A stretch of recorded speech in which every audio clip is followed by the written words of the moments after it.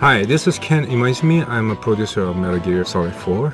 It's been a long time and I'm really glad to be back. The Well, show. Ken and I needed someone else to help yeah, us Yeah, yeah, yeah. with this podcast. And we have Sean, who will probably guide us really intensively mm-hmm. Glad to be here. through the game. And hopefully, everyone will enjoy hearing us while playing the game.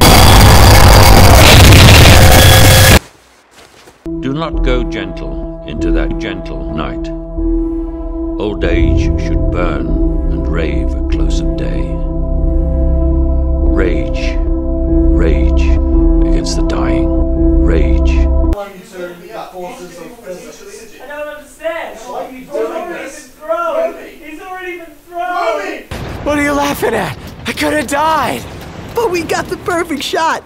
Ah, and had ourselves some crazy fun. Oh man, you should have seen your face.